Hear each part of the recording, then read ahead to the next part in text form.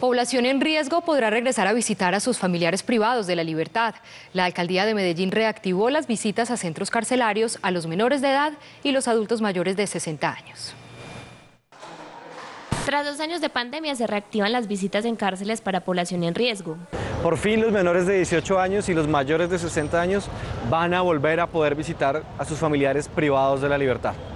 Se hará prioridad en las visitas a las personas que cuenten con el esquema de vacunación completo y durante las visitas se verán cumplir todos los protocolos de bioseguridad. Mujeres en estado de gestación y personas inmunosuprimidas que cuenten con el esquema completo de vacunación podrán visitar a sus familias en Pedregal y Bellavista. Brindaremos todo el acompañamiento a las familias que quieran volver a visitar a sus familiares privados de la libertad porque sabemos de la importancia que tiene el proceso de juntar, de mantener ese vínculo entre la persona que está privada de la libertad y su familia en el exterior para su proceso de resocialización. Esto es una garantía de derechos también para las personas privadas de la libertad. Las fechas de ingreso de los familiares informarán a través del IMPEC y los centros penitenciarios. Para mayor información, comuníquese al 385-5555 extensión 9794.